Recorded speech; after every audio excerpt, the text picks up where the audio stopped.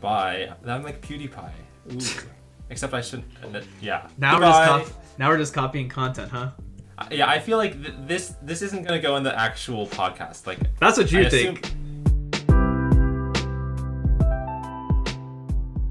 hello everyone, and welcome to episode two of Overinspected. I'm your host. Well, I'm one of the three hosts, Cary Huang, and with me I've got Chai and Manu. Yeah, and I think this. What's up? Yeah, in, yeah. You guys can introduce yourself again. You know, I'm, I'm I'm gonna be honest. I was like wondering, like, do are the way you're pointing? I wonder if it's gonna show. I'll point in both directions. Like this way, We'll one of those it is right. It's fine. Yeah. If we end up in the wrong direction, who cares, man? Yeah, it, Oh, no, if, if I point in the wrong direction, it reflects off of the wall on the side Yeah, of the exactly. oh, oh, so it's, it's like a light It's- beam. Yeah, yeah, yeah, exactly. Oh, that's clever. Like, yeah. Mhm. I was trying to see if I could have a laser pointer, but I don't. I don't think they would be able to see a laser pointer, also, right? Because if you like pointed the like, you would have to have you know like Oh. those mists. Like you need to have I- the mist in order to see the laser pointer. Yeah, I would need a mist machine and a laser pointer, which is too much for a simple podcast like this one. So I had a question. Yeah. Yeah. Oh. Cary, you too. We just had dinner. Manu, wh- how was the curry? One out of ten. So I think Japanese curry. I think the curry was really good. Uh, I have like a I have a soft spot for I think Japanese curry. I think it was a little runny. Oh, okay. Yeah, that's fair. It was a little bit runny, but you know what? It was jam packed with flavors. So if I had to give it a one out of ten, one through ten, I'd probably give it a solid six. It was pretty good. Yeah, yeah, I think so. I think also it could have used a bit more rice. Li- little, more rice. little low on the rice side, but otherwise no major qualms. Uh, six out of ten for me as well. Cary, what'd That you? sounds good. Yeah. Um, I had a fish burrito that my dad bought and bra- brought home. Um, I only ate half of it because it was like really big. Um, Yeah. But I would rate that. Well, you guys both said six, right? So You I'm could gonna also say fi- six. I was could gonna also say. I was also gonna say six, but then people are gonna be like six, six, six.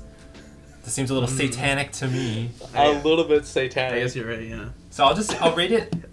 I don't want to go up to seven though, and five. Just just, just put it six point one. Six point one. Six point one. Yeah, I rated it a six point one. It was actually Oh, better wait, than you our meals couldn't- then. Yeah. You couldn't have rated it a six point two five. Hmm? Oh, that's true. I could rate it Mitch. Six? Yeah, point two five. Yeah. I rate it. I- Um, I rate it Mitch out of ten. I rated it Mitch out of ten. So it was like that means it's a pretty decent fish burrito. Um, yeah, pretty good. Not not too bad. Uh, Yeah, yeah. I think like with okay, I guess we, we could we could transfer to like what this episode's going to be about. yeah, so I think today we're going to just talk about our kind of personal origin stories, how we got into speed cubing, maybe how we got into podcasting. hmm Yeah. Yeah. yeah, I think Uh, I think that this this episode is gonna be a long one. I think there's there's a lot there's a lot of story between I think the three of us that we could just we just go on forever and ever. I definitely feel like mine's probably the most boring, or probably the most basic. But wait, wait. So let, let, let's start with the, the the like the most simple one, right? Like, where, how did you how did you guys get into cubing? Because considering that this is a somewhat cubing podcast. Yeah. Um. Well, for me, um, I technically first solved a cube when I was in the ninth grade. Um, my friend actually bought this like really cool speed cube. I have no idea what it was. It was like a white plastic speed cube, and uh, we were just solving it together, learning it together, and I got pretty fast at it. I think I used beginner's method all the way until like 35, 40 seconds. Um, That's pretty and, fast. and like, yeah, it was pretty fast. And then I just stopped all the way until I graduated college. So I actually had not touched a puzzle since then. Hmm. Um, and then that summer was like really boring. So I just picked up a cube again because it was in my room. And then I figured out this whole world of speed cubing and I sub 25, sub 20, sub 15. Um, so I, I essentially had this like three year gap of when I learned it versus when I took it serious. That at least for me. Yeah, yeah, that, Yeah. That, that actually mirrors basically my cubing as well. So I first started cubing when I was in middle school. Um, this was, I think, right when cubing was like picking up again. Uh, so, so some people might know, like originally, like cubing originally was really, really big in the '80s when the Rubik's Cube first came out. I think it won like Toy of the Year or whatever. the first I think World Cube Championships were held in 1982 or 83. Um, and but after that, you know, cubing kind of went on a huge lull. Um, to the point where I think like if you ask people about it now, I think people are still like, "Oh, I thought the Rubik's cube died out." Um, but I, I think when I was in middle school, it was catching back up again. Uh, almost certainly because of YouTube. So my friends actually learned how to cube first, and then they were like, "Oh, haha, you can't do it. Like you, you suck or whatever." I'm like, "What do you mean?" So then I I also learned how to cube, but then they were faster than me, and they were like, "Oh, but you can you might be able to know you might be able to solve a cube, but uh, you can't do it fast." So then I started getting a little bit faster, but uh, I remember in my school it was to the point where we would just bring cubes to class, so we would cube in the middle of class, and then Oh. you know at some point cubing got banned. But in order to get around this, what we did, it, it was like silly bands. I don't know if you guys remember silly bands from way long ago. But oh like, yeah. it literally got on the banned toy list. So then what we had to do is we had to like we had either modified cubes in order to like make them quieter, so like you know like sanding them down and stuff, or what we did is like I remember the sh- the Shengshou Aurora was really popular in those days just because it was Mhm. quiet enough where you could play with it under your desk and not get caught by the teacher. Oh my god. Did, did you guys ever cube in school? Yeah, I mean, I also cubed in school, and they never outright banned it, but I do know that the cube I had, which was like a Zhanchi at the time, was very loud. So, yeah, I can definitely relate to like teachers giving you the side eye. Wa- Was it like a big thing in like your school? Uh, for me, it was actually interesting because it blew up in my high school the year after I had graduated. So. oh, interesting. So- like I went to my first competition my freshman year of college, and a lot of the people a year younger than me who were still in high school showed up, and they were telling me, um, like, you know, it's spreading through in my high school, even though I wasn't there, and like, oh, if you were, if you were only here for another year, you would like be the one teaching us all, because I had been cubing for like two years at the point, so I was faster than all of them. Um, How do you start? uh, I started. Actually, I'm thinking about this, and my story kind of just changed in my head because I remember when I was in elementary school, some parent gave me a 2x2 pocket cube, which it was like transparent as a gift for Christmas or something. And I learned how to solve just a 2x2 through some online tutorial, but like nothing else. And I guess, kind of like both of you, I just stopped doing it for a very long time. And then in 2013, I think during spring break, I guess yeah, that's around the time that I was like taking a hiatus from making YouTube videos. So I just like realized like I if I know how to solve the two by two, I should learn how to do the three by three Hmm. because that's the legit one. Yeah. And I know that my first solve was on April Fool's Day 2013. Wow, that's how did you like? How do you remember Really? that? Is there a story behind that? Oh, it's, it's because uh, I I have this software that like graphs my timed solves. Oh, okay. And like the very first one is like April 1st, 2013. It's like 4 minutes or something. Wow, you you ha- so you you like keep your solve history from all the way back then, or is this like an old program that you used to use that you don't use anymore? Yeah, it's an old program I don't use anymore. But back then it was like I would have like a timer on my phone. Mm-hmm. Mm-hmm. Okay, just wait. I, I don't know my phone notification just showed up that I don't. we can cut that. Okay. Yeah, yeah. We can blurb it. I mean, Yeah, we yeah, can we can blur it. Yeah. Now it's okay. Now there's no notification. Um, but yeah, like I got, you know, I, I had the the old, you know, stopwatch app, and I would just take screenshots of my times. So Ah. like I don't have a Yeah. sophisticated. Ti- I didn't have a sophisticated timer back then. Yeah, yeah. th- Right. tho- those are like the the old days. Those are like the Wild West. I remember like going on YouTube back in those days and just trying to like piece together what was going on. How did you guys like learn to solve the cube? My first video that I saw was the Dan Brown method. So I used to be Green Cross solver actually. Way, way, Oh. way back in the day because he started with Green Cross. Yeah, um, I know about Dan Brown's video, but my first tutorial was me, myself, and Pi. Ah. Yeah, because, um, yeah, I think actually, yeah. So he he had a tutorial on a two by two, so that's how I first learned. And actually, that I I'm remembering now. It wasn't elementary school, so I just want to correct that. It was probably like late Like middle, middle school. school? Yeah, middle school. Yeah. But I just remember Uh, he had like really fancy transitions that would like flash on the screen. So yeah, I was like, or wow. fan- fancy for 2013 times, right? Yeah, because his tutorials were like back then. JPerm didn't exist, Yeah. And and like a lot of other tutorials didn't exist. I think um, probably I don't recall using videos to learn how to solve the cube, and that's because I was in China and then YouTube was blocked. Mm. So my I definitely remember using the manual that was given to me. Um, I don't think that explains why I'm a green cross solver at all. Yeah, I'm not really sure how I turned into a green cross solver, but I know for a fact those manuals definitely do not recommend green cross. Like they always start with white. That's interesting. Yeah, I have no idea how that happened. But as far as like when I came back, like I came back to um cubing, I definitely have no idea who I watched. Um no recollection whatsoever. There were like so many at the time when I started there were already so many resources. yeah, I don't know if you guys remember Cubing World.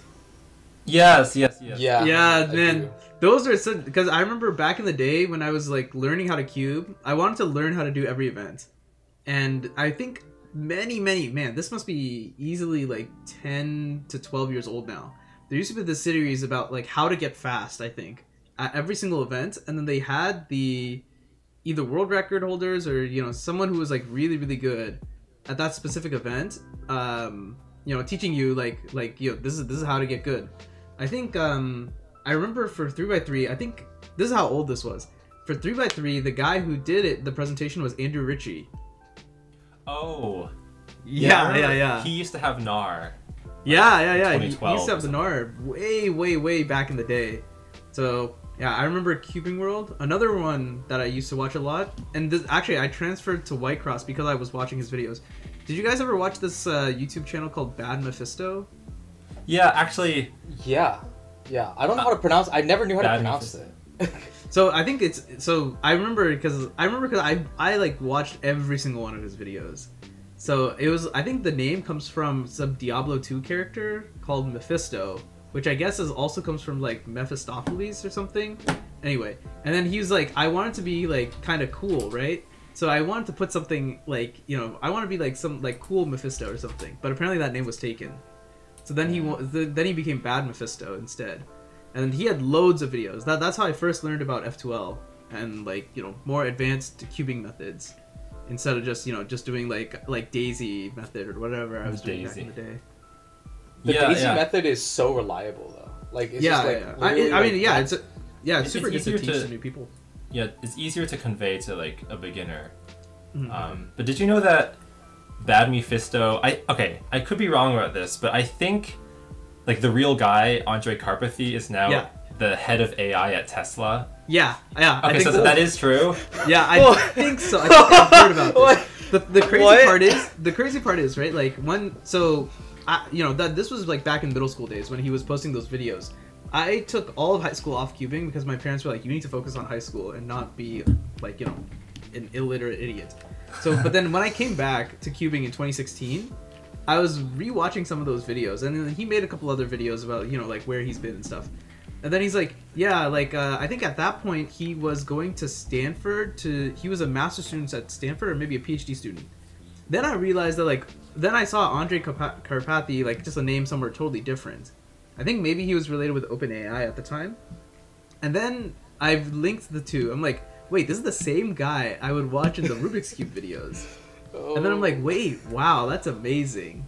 Just to like, just, just like I don't know. I guess the world's like a super small place. Does Yeah. anyone else know that? Was is that like technical? Let's do everyone. I did not know that. I, I don't know how I knew that, um, but I do wonder if Andrej like still cubes, or if we can ever persuade him to come to a competition. 'cause he's Oh probably my so goodness. busy. Yeah, yeah, definitely. He probably like talks to Elon just- Musk every day. yeah. What if Yeah. he just con- What if he convinces Elon Musk to sign up for a comp? oh my goodness. Oh my God. Well, that, that cubing is going to the moon. Yeah, cubing is going to the moon. Cubing First- is coming with us to Mars. First Dogecoin, and then. Oh, if we if, if Cube humans go to Mars, will there be Martian records? Not just Yeah, like that- that's- North that's- American yeah. records. Yeah, Yeah, because we have world records, right? But what about Martian Inter- records? I mean, the humans that would live there, you would call them Martians, right? Well, also, like the other thing Martian. is, think about like the way that like the physics would work, right? Like, I wonder if solving a cube on Mars would be physically different. I guess because like here, Oh, we, yeah. because we don't need to like have like a spacesuit or anything, right? Like, we we just cube. But like, if you're on Mars, I guess like if you're a human living on Mars, you need to have some sort of like protective suit or something. That's definitely gotta affect your dexterity. Or if it's like super far in the future where we have like evolved species that can like live on Oh. Mars without spacesuits, then they're it's just a separate species, right? So then like it seems reasonable that there should be a Martian record. Yeah. That, that sounds very sci-fi. Like we're we're going to the part where, like the Well, evolution has. Yeah, changed. we're also assuming that cubing is gonna survive that far into the future, right? Is it, Yeah, but is, I- I- is it I that no far? I think if we if it's far enough to the point where humans like diverge, like Earth humans and Martians become like separate species, I think that's gonna be really really far in the future. I, I mean, Speaking like, of, well, take- one time, one sorry, one time there was a comp, and then if you can't solve a cube physically, you can solve it virtually. So Lucas Garron brought Ah. his VR headset. Cary, were you here for this? I, I did try out his VR headset, but I haven't heard of this. Like, if you can't solve it physically, you're allowed to do it virtually. Well, like not on not on like um on Not- Mars. I mean, like how are you gonna solve it with like all the uh, contraptions on your you know all your gloves and everything, your spacesuit. So you're just gonna start with like dragging like the swords to lightsabers to turn the layers on the virtual headset. I, I think that if, if humans actually go to Mars, isn't it just a lot simpler just to have a sealed off kind of room that has you know, Oh. pressurized air Actually, Yeah. you're right. Yeah. of the same breakdown of Earth's atmosphere, and then You're like, you can just pretend, yeah. yeah, just you would just do it inside like your your base or whatever, right? You don't need to Yeah. do it out in the Martian air. Okay, well Yeah. that that seems reasonable. Well, considering that, then again, we also do have different records for like Asian record, European record, North American record.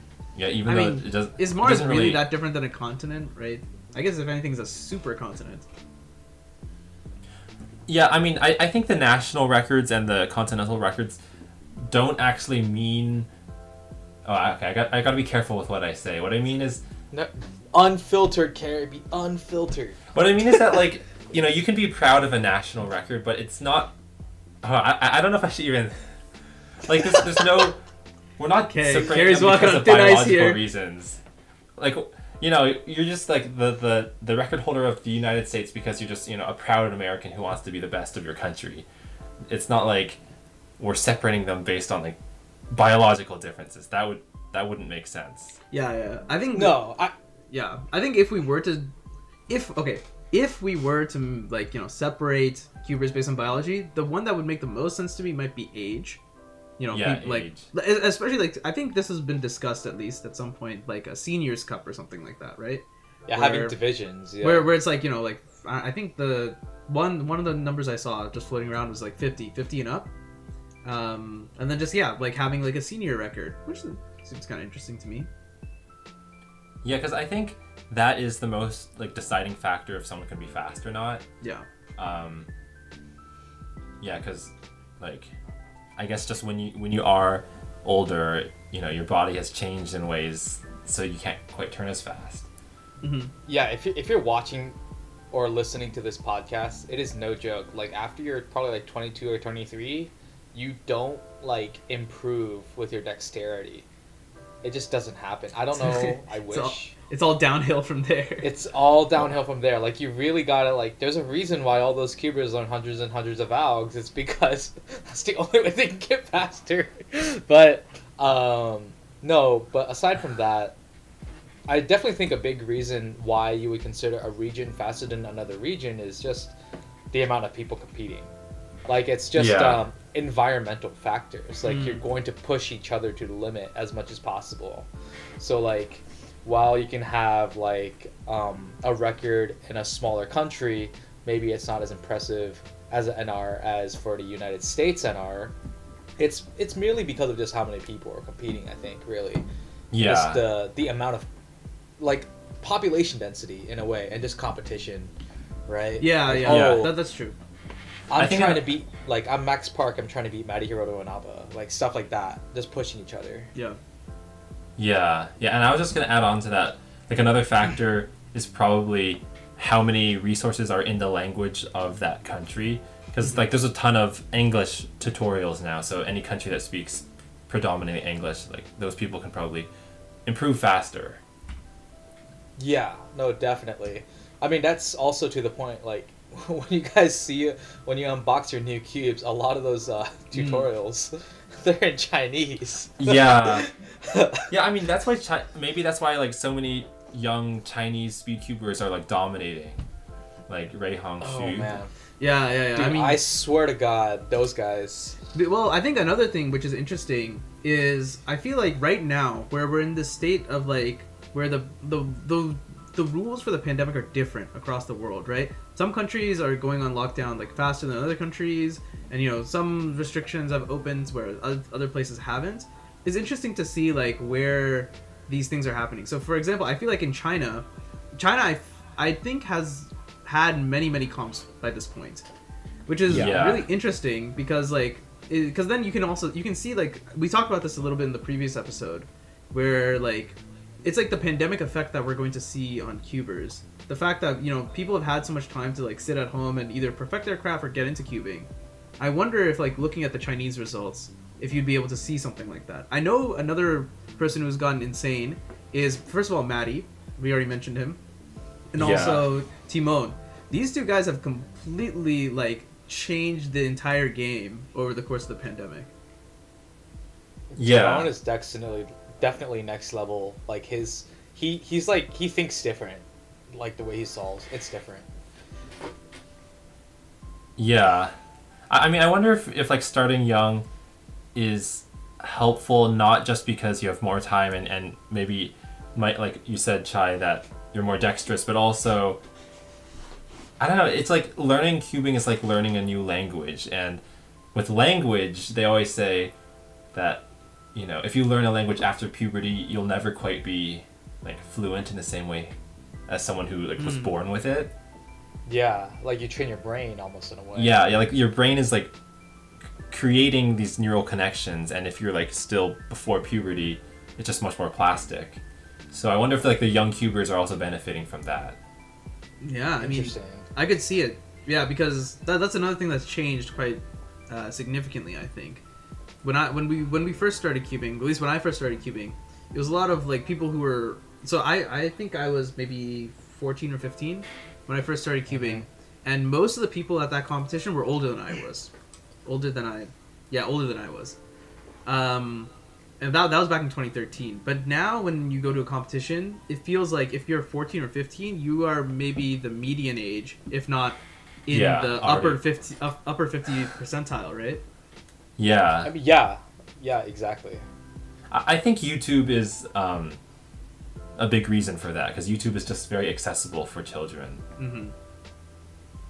I definitely think that using like sports terms, if you're 14, 15, 16 years old, like in terms of your skill, like that is your prime. Like Oh, that's no. your that's just your Yeah. prime, you know what I mean? So like um, people who are solving at their best, they're solving when they're 16, 17, 18. Like I don't I don't know, like is that do you guys find that the best cubers in the world are like that much older these days? I mean, Well- Felix is an exception, but yeah i was gonna say so by that are you go- like are, are you also willing to argue that like felix has fallen off from where he was a couple years ago i I, don't mean, know would if you I would- argue? Would you argue LeBron fell off in the same way? No. but he, but he's definitely not the best player in the NBA, right? uh debatable maybe for a separate All maybe right. for a different All right, podcast guys. If, if you're watching, let us know what you think. If you think LeBron's the best player in the NBA, Maybe for no, but maybe for a different episode or maybe for a different podcast all entirely. But Yeah, I don't know. I, I I sort of see what you mean though. Like like yeah, it seems like right now cubing is really really dominated by you know these people who are I mean, I guess they're kids um, you know, like the the 14, 15, 16 year old kids. But I don't know if I would go as, as far to say that like that is like your prime. I think that there are probably and there are almost certainly many cubers who are like outside that age range, who are still who are probably just hitting their strides. Mm. Yeah, probably. I mean, it's not like you fall off after like you attempt. The reason why you'd fall off after you hit like 20 years old is probably because of college. Yeah. Nothing like physically. Nothing physically. Yeah, I think I think Yeah. th- to me that's the- I don't know that that's I've always thought that like time is probably the most important thing, which kind of makes sense, right? Like the more time you can devote to something, whether it be like a language or a sport or cubing, the you're naturally just gonna be better at it just because you just have more reps, right? hmm Yeah. Um, I mean, I, I guess I, I don't like the thought that like the human body is already starting to decay by like early twenties because I guess I'm past that already. Um, but I remember like Rowe Hessler or some other OG cuber mm-hmm. was already talking about like somehow like feeling it in his fingers that like he just couldn't turn as fast and like I don't know what that feels like. That's maybe I- interesting. It's like a subconscious thing. That's interesting because I feel like may- maybe it's true, but what's what's also interesting is that like because now somewhat recently at least like I think Rowe has been really getting into multi blind, blind. right? Yeah. Yeah. So th- that, that's actually kind of cool. It mi- maybe it's like sure like you lose some dexterity in your fingers, but maybe like because of like your heightened mental acumen or whatever, you can now like kind of access these events that you know I think mo- most kids don't really take place in like the blindfolded big blind events, right? But maybe Yeah. like now because you're older, you have a better spatial awareness maybe or memorization skill perhaps.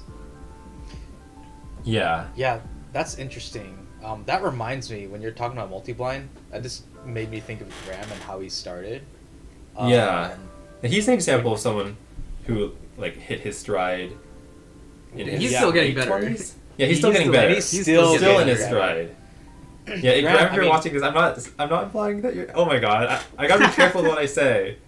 No, g- g- no, Graham is like improving. Yeah, which is yeah. crazy. And and um, I remember, I think we were like one competition apart from like our first competitions. It was just one or two of the Berkeley competitions. Yeah. And, like we were like the same level. And to imagine that this guy is the the best in the world at what he does, and he's Yeah. still getting better is. It makes me feel bad. yeah, well, I, I think Graham has a very like Oh, man. methodological way of like tracking improvement because you know a lot of people Yeah. when they practice they just like do the same thing over and over again. Yeah. But I think he Mhm. actually like writes down every mistake he makes when he does a multi-blind attempt and tries to figure out like, oh, is this letter pair not memorable enough? It's very uh, kind of like logical and meticulous. Yeah. Yeah. I, I, mean, would there's give- like different ways to practice, right? Oh, you think there? Wait, there are or there aren't?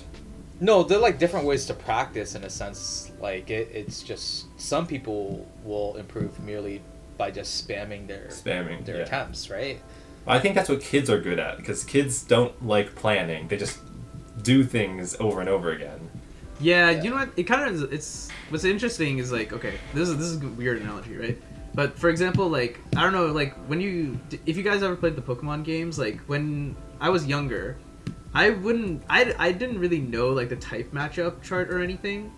I would just just like grind, right? And then I would just like raise my Pokemon up to like high levels, and then I would just kind of just do the same thing over and over again. But at some point, like when I got older, I'm like, this is not efficient. There's there's a better way to do this, right?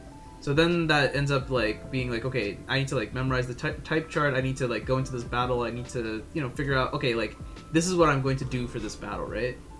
Might maybe Yeah. something like that for cubing, where it's like, you know, as a kid, you're just you're just grinding, and then at some point you realize, okay, like I'm not getting better, but then something in your head clicks. It's like, okay, like so for me, I had this big realization in 2017 when I wasn't able to break sub 20. And at that point, something clicked in my head where it was like, okay, look ahead is my problem.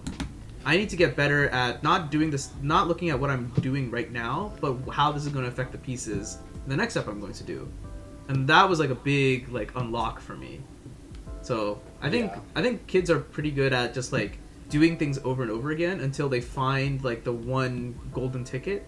Whereas like adults, I think might need to might, might need to like think more analytically and kind of like more like analyze like okay like here are all the parts of my solve like you know there's like pauses or like this alg is inefficient or i didn't do this case properly things like that i think i don't know Mhm. Yeah. Um, Cary, do you um do you remember when your first competition was? yeah, it was November 11th, 2015. Actually, what's That's so precise. you remember it down to the day Oh, I'm gonna be wrong. Watch me be wrong. But what, I, like, like Chai, when you were talking about how like you and Graham started at the same time, what freaks me out is that like Graham Siggins uploaded a video of his first official blind solve, which was a year after my first official blind solve. And like back then, I was like faster, so there was a time when like he was on the come up and I was technically. I had a, mo- a little more experience, but you know, he just took it to the moon. He just kept going. yeah Oh Jesus. So you started in like 20 so your first comp was like 2014 then, 2015? Um, Manu's or mine? Yours, yeah. Mine was 2015. Uh, okay. Yeah. That's cool. I remember I went to the first I think it was either Berkeley Fall or it was Berkeley Winter. it was I it was fall i'm pretty sure Yeah, I came to the competition with my roommate at the time Oh, huh. uh, in co- in college, and then uh, we were just like hanging out with each other while we were waiting for our solves and everything. And I think it took me until maybe the third or so comp to really start opening up to people that like including like Manu. I think Manu, were you there already or not? i was almost certainly there i, I feel like Like, i you, you were probably staffing or something. i feel like i remember you from those days it was a, it was Yeah. a very different michael chai I was very Wait. quiet. yeah Yeah. Well, yeah extremely so Which comp? Because wait, Chai, I think the first comp I saw you at was the one where you were wearing an apron. that was the first. That was the first one. Was Oh, that the first one that you met me? Well, I don't know if I actually talked to you, but No, that competition was SAC two. okay. sac, SAC two, two or okay. three. SAC two, three, four. One of those. It was the one where it was in like a weird plaza. It was yeah, three. There's like a huge. Three. huge That was the parking one with the awful lighting. That was the one where oh that was Cary. That was the one where I won Megaminx. So Yeah. best of one song. And that was your Oh. first competition. Oh yeah, yeah, yeah, yeah. I'm I pretty that remember that. Yeah, I remember that. Um, Yeah. And I remember you got in second, and we were having a no. There, we definitely met before that, or else we wouldn't have had the conversation about who's gonna win at Mega.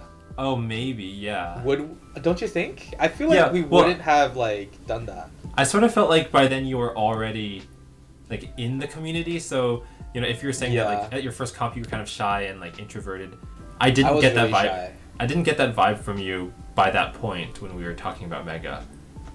Yeah, no, I, I was definitely like a lot different. And then when, oh, I, I mean, I'm naturally just pretty introverted. Just like when I'm into something new, that's how I tend to be. Yeah. Yeah. What was Yeah. it? Um, and I think it took me until like the third comp, and then I, I didn't actually talk to you, Manu. I talked to Zod. I think I think first you talked to Oh. Wilson, because then I know oh, Wilson Oh yeah. because because Zod and I became friends in January 2017. I distinctly remember the first message Zod ever sent me was about magnets. About if if because because at some point I was like, yeah, I want to magnetize my cube, and I never talked to Zod. And he's like, oh, I have some magnets. Do you want them? That, that was the first meg- message he ever sent to me. Um, so I became friends with Zod in, in January 2017. Then I think you became friends with Wilson, uh, probably around the same time. And then Yeah, Wilson and like Zod that. were friends, I think, uh, also around that time. And then that's how like we all like became, came to know each other. if, if you guys don't know, Wilson right now he's the he's the head of the WCA competition announcement team. Mhm. Um, also a delegate in Indonesia right now. I knew about the delegate, but I didn't know about the other announcement thing. Oh yeah, he, he's Yeah, you know he's- big bossing it up. He's Uh, leveling up. yeah. no, but he's funny. Um, there's so many like we have a phrase, just classic Wilson, just like just screwing up, you know, just being late to a competition, you know. Oh. Like imagine he no. watches this, right? Nope. I think Wilson is just Wilson. There's only good things about Wilson.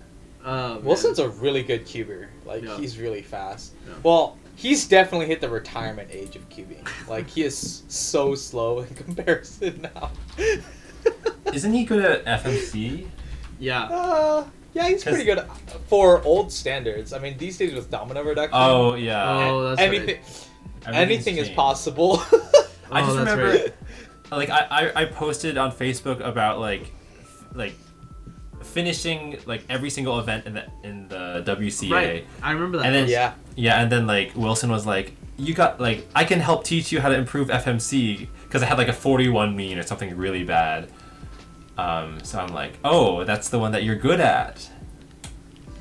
yeah, no, Yeah. he is good at FMC. Yeah. Not anymore though. I mean, like he definitely would not be classified as like the best. World class. Yeah, man. I remember the pre-domino reduction days when, like, you know, I, I remember like, uh, I guess people probably. s- I don't know. I don't know anything about domino reduction. Do people? Does, does it work similarly to like the old? I remember NIS and uh, insertions.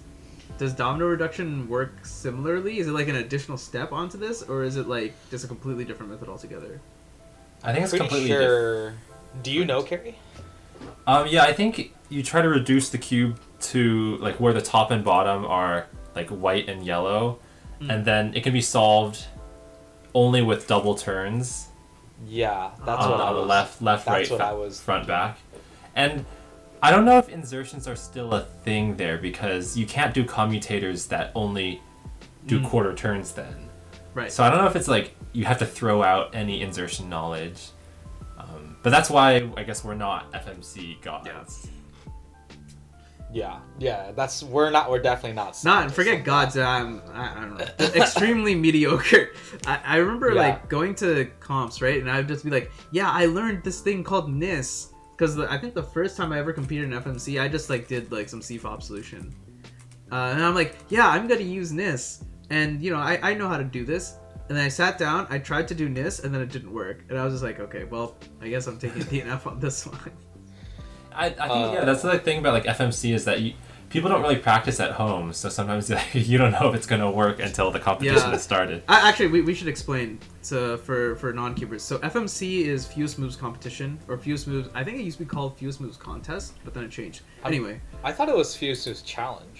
Yeah, oh, maybe it's yeah. challenge. Okay, in any I think case, it's yeah. basically you want to solve the cube in as few moves as possible. It's like um, it's, it's like being a computer, right? Like you want to just give the most efficient solution. And uh, you know there are many ways to do this. You can just if you just do like your normal solution, for example, a CFOP solution. I think CFOP averages around. I think if you do it somewhat efficiently, you can get like 60 moves like pretty easily. Um, then obviously there are like other methods. I think Roux, if you include M slices, is like 40 Yeah, and then four- ZZ yeah. is I think like I think ZZ is also between 40 and 50. Um, but then the, there are other things that you can do, and there are some very interesting things with the way that the cube is set up that have to do with a lot of more like math and group theory. And there's one method called NIS, which is normal inverse scramble switch, where you solve the inverse scramble of the cube, and doing some stuff there gives you more. It's not more information, but kind of like will you can use that information to solve the normal scramble of the cube in a slightly different way, which can be more efficient. So, because I was trying to learn this, so I think this is a really interesting concept, and I still don't really understand it mathematically, like how it all works. I'm not that smart, but the way, like when Manu says inverse scramble, in a sense, when you scramble a puzzle, um, you scramble it like say for example with two moves. In order to return to that state, you want to do the inverse of those, not the inverse of those two moves. You want to do those moves in reserve, uh, in reverse. So if you Yeah, think about think like is the, the s- you think about the solve state and the scramble state as like a gigantic circle. Yeah. This is a scramble, and this section is the inverse scramble. And then right, Yeah. Is Yeah. that how it works? Yeah. And then when you do NIS, you actually apply it backwards, and you get this like semi pseudo state that only exists in the ether. And then it, it just gives you some cool stuff in the real world, basically. Yeah, I, I'm sure that at this point there are prob. Well, I'm guessing, but I'm sure that there are like many, many NIS tutorials out on YouTube. So you can go f- feel free to take a look at those if you'd like. I'm sure. So I, actually, I don't even know if they. maybe they don't exist anymore with with the DR and stuff. But well, I'm sure the old. No, I'm sure that, I'm sure they both exist because I do think NIS is has a lower barrier of entry than Domino reduction. Really? Because I, I feel like Domino is so new that nobody has. Oh, Okay, people have made tutorials about it, but there's they're kind of like for already intermediate FMC solvers. Mm. Yeah, I mean, if an idiot like me can know NIS enough to do it in a solve, I'm pretty sure the 31 I got was a NIS one.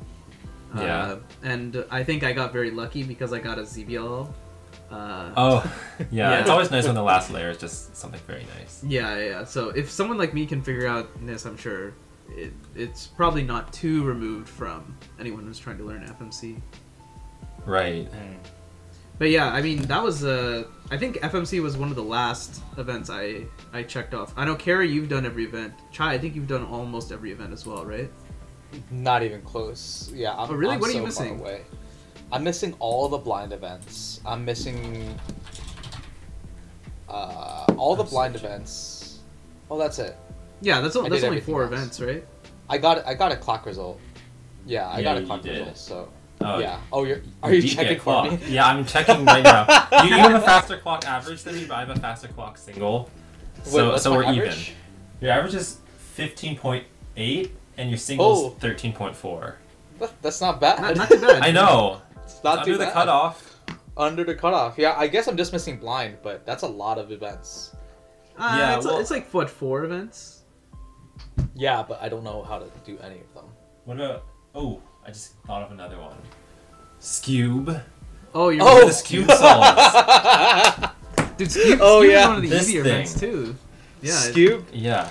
yeah. Uh, Is I'm gonna is- quote my I'm gonna quote my dear friend Brandon Harnish. oh no. Yeah. Uh, Skewb is a blight. Oh. Yeah, so Oh. for for those of you who World might not know, because Skewb actually used to not be an event. It was not an official event. I think it was added. Oh, January man. 1st, 2014. Okay, well there we go. It was added. So Right. it, it, I I actually predate because my first competition was in 2013. So I actually predate the ex- the existence of Skewb as an official WCA event. But uh, yeah, one of our one of our good friends, Brandon Harnish, I think he had the world record for at least several months, if not over a year. Um, Yeah. I thought now he Yeah. does, does not like Skewb anymore. I mean, it- I believe the way that it works. Well, I mean, to be obviously, it's a personal preference thing, right? Mhm. Like, it's not objective, but I believe Brandon Harnish had the world record for a while, and was it immediately like the Polish started taking over the event? oh, Yeah, Like, yeah. when. They, did they invent the Polish sledgehammer? Ah, I, I know the Polish sledgehammer. Yeah. Yeah. Yeah, yeah. So, uh, you know, it was inevitable. Mhm, mhm. Yeah. So so Chai, do you think you're ever going to finish the profile? Get get all events? Uh, you know, I'm not gonna put it out of the question because I mean, you got a long time, right? You, I mean, blind is something that I could theoretically pick up like in my late twenties if I really Yeah. wanted to. Like, it's not something I have to do now, but um, like I think Graham is slightly older than me, and he's he's rocking it. I just don't have the the patience to learn it at the moment. I mean, Um, yeah. There's and no I- point I've- in forcing yourself to learn it if you don't want to, right? So. I've also had successful blind attempts. I think my PB is like seven or eight minutes. I just never continued to push down the barriers. By the time I went back to try it again, I had forgotten so much of what I know, including the letter scheme too, right? Mhm, mhm. So I mean, but it's so um, you'd think blind solving is so hard, but conceptually it makes so much sense. Like whoever thought of these methods, it's like a genius kind of thing. I mean, I don't know who thought of it, but isn't it like from like card games and stuff like that? The way they use letter schemes. Uh, I don't know if it's card games, but I think it's a lot closer to group theory in the Yeah. way that like you Oh, you would learn group theory in college because you talk about like even versus odd permutations and like end cycles and like parity and all that. So um, I definitely think that someone who learned group theory in college is probably more likely to have developed the method. I don't know who did. I know that like Stefan Pochmann, Yeah, I only know Uh, of Pochmann, so. yeah, started it in like 2000 some like one, 2002. I Yeah. don't know. Yeah, Ca Cary, since you, I think you are basically the resident expert on blind, at least among the three of us. Do you want to explain the blind method really quickly? Oh yeah, okay. Um, I guess I have a scrambled cube, but I don't want to go too much in detail. But I think the idea is, um, for every piece, like every corner piece or edge piece, it has a position it wants to go to. So you just sort of look at the piece and then you see where it goes to, and then like that will point you to another piece that like also tells you where it wants to go to. So it kind of creates a path around the cube, and then Mm-hmm. in your head you also have a letter assigned to every position on the cube. So as you trace out this path, you're also creating a string of letters which you can memorize. And because there's only 20 pieces of the cube that actually move, the path will be around 20 letters long, which actually isn't that hard to remember. And like this is the same way it Use works for bigger cubes too. Yeah, you use Yeah. mnemonics, right? You just build sentences or like whatever you can do to remember the letters. Yeah, yeah. So like every two letters, you will think of an image or some object. So I guess uh, well, let me think of an example. Like EG would be egg for me, Yeah. and then like, if, if you just do blind over and over again, it starts to get to the point where if you think of a letter pair, you just immediately see that image in your head. Um, so then when you put the blindfold on, on, you have like ten images in your head, and you just kind of kind of regurgitate through through the I think same it's ten. it's also easier to like see too on a solved cube, like when Cary is discussing like where a piece wants to go. Oh But yeah. Really, this is the this is the spot where this piece wants to go because this is a solved cube. So if I consider this piece right here, that position is home position. But like when it's scrambled, obviously it's not. The piece is somewhere else. So now the piece is back here, but the home position is still over here, and that position and how it's going there, that's what Cary's memorizing essentially. Yeah, and there Yeah. there are like algorithms to move like so here really what we're doing is it's almost like you're solving the cube sticker by sticker uh, except instead of sticker by sticker you're really solving it piece by piece. Imagine you're sort of like taking the piece out of the cube and you're saying, "Okay, where does this piece need to go?" Jamming it into that spot, taking the piece that was there out uh, and then finding where that needs to go and continue doing that over and over again until you just solve the cube. It's actually not too difficult if you if you like you, you could probably come up with like a uh, you could probably come up with this method yourself honestly if given enough time yeah. That's a good yeah. um, alg. T perm is a good one to show, right? oh, Like I'm how many just- pieces are you moving? Well, I, I mean, I'm thinking of an alg that only affects corners because the good thing about these Oh, yeah. commutators that you know, as Manu said, take a piece out, and put a piece in, and then force a piece out, is they don't affect anything on the cube that isn't Mhm. those three pieces. It's always three.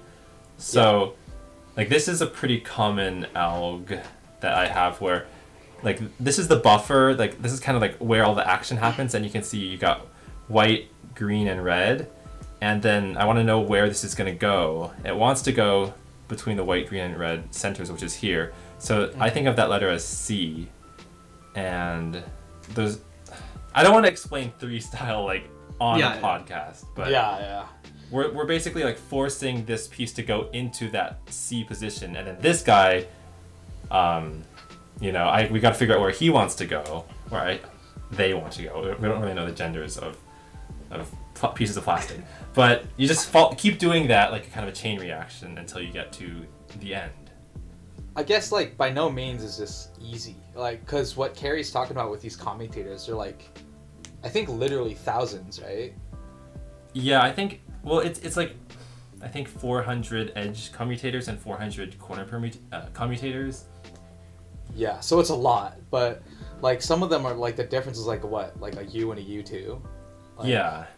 yeah so they're like very small differences, but But- by no means it's is it easy. I mean, plus you can get away with like you don't need to learn all of them. You can also just uh, learn just. I think you can get away. There, there. I think if you use old Pochmann, old Pochmann, you can get away with three algorithms only. I think you just need T perm, Y perm, and R perm. Yeah. I think Wait, which Yeah, are which are just three three algorithms. But yeah, you, you can Mhm. get away with only knowing three algorithms and being able to solve a cube blindfolded. So, but yeah, it is it is very different than solving a traditional three x three, mainly because you really, really need to know where all the pieces are going. And in order to be able to very like finely move pieces, like Cary said, we want to only move the pieces that we really care about. We want to move the other pieces as little as possible. That requires a somewhat lengthy algorithm to memorize. Yeah. Yeah. Um, but it's fun. It's like you get the thrill of being a be- beginner again. Yeah. How, how did you when when slash how did you get into blind? For me, I think. Oh, actually, it was like uh, summer. Oh, no, it was January 2015. So it was like right after I had applied to college, and I think I realized I have a lot of free time. Mhm. And I've been cubing for a couple years, so let me try something new. That's sick. Yeah. Yeah. Yeah. I mean, blind is tough. Blind is also so impressive. Just like you said, I think before, um, how either 4x4 for me, but for you it's three blind, just spectator wise. It's tough. It's a it's a tough event. I, I like it. Yeah, I mean, I think it's also an event where people can, like, w- where your emotion, not emotional state, but like your mental state can make or break Yeah. it for you.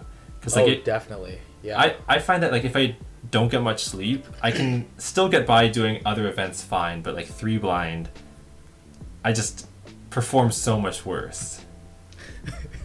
now imagine you had to do that times 60. 60. Times sixty.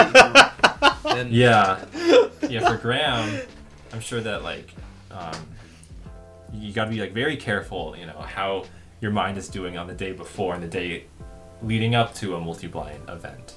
Yeah, yeah, yeah. I mean, it's to the point where like, so as we mentioned, like you're memorizing these like strings of characters, right? So one way to do that is like stories.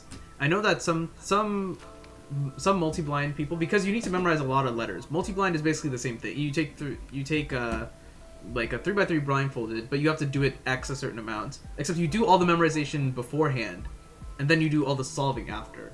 So instead of doing like memorize solve memorize solve, it's memorize memorize memorize solve solve solve. Solve, solve, solve.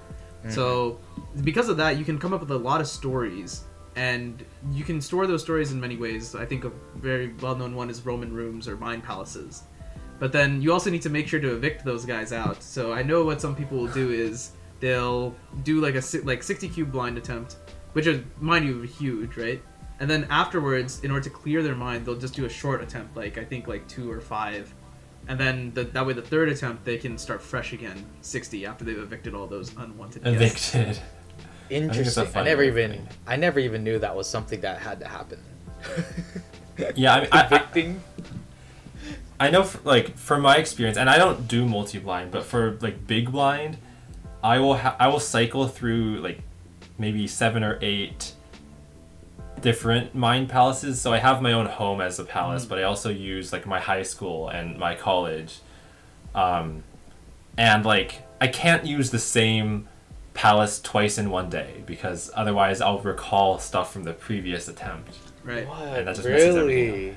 I Yeah. had no idea. Yeah, That you need to cleanse your palate essentially. Yeah, it becomes Yeah. vivid enough where you can you just see it there, right? And then then, then yeah, you have to work hard to just evict them. They're just un- unwanted memory. Yeah, Wow. like like an you know. unwanted X. Yeah. Get out of here. Blocked. Oh no. I think that I think that uh I know what time like you guys know what time it is now. I think it's pretty much time to go. Oh Yeah. yeah. Oh, we're talking about X's now? I don't know. Oh yeah. well, that's we're also talking about getting, getting stuff evicted, right? You know, if we keep this up for too long, the viewers are gonna evict us. They'll be, they'll be like, this, these guys are just yeah. uttering nonsense as always. Yeah. Okay. Like- So, um, is there anything else we are gonna hit about like Cuban career and we already talked about first competition. In the different regions, we can talk about it. We, we talked about like world championships, so I think we crossed those all off. Yeah. Plus, anything we didn't cover, we can always come back to in future podcast episode. Yeah, exactly. Cool. Well, do we want to end this episode off soon? Yeah, I I think, think so. we've reached our cutoff, yeah? Yeah, I think we have. We have over inspected once again. As always. No, always Oh, a man. always a pleasure, guys. I think I think it's really fun to just like, because these are just like the normal conversations I think we would have. So it- it's kind of cool to put it in podcast format, and hopefully the, the viewers find some of our some of our stories slightly interesting. Hopefully, maybe you can relate. Maybe you Yeah. found one of the maybe one of the cubing things we mentioned interests you. Like now you really want to learn about FMC or three blind or something. That'd be cool. Yeah, I- I agree with Manu. Um, like these these topics, they're very interesting, but they're also very niche. So mm-hmm. Skewb is a blight. yeah, I didn't know I didn't know that Brandon was so anti-Skewb these days. Hmm. Well, it's not even these Oh. days. It's been for a Oh. while. Yeah. For a while. Yeah, it's tough. Yeah. All right. Are we signing off? All right, I think we are signing off. Thank you for watching, everyone. All right. Goodbye. Goodbye.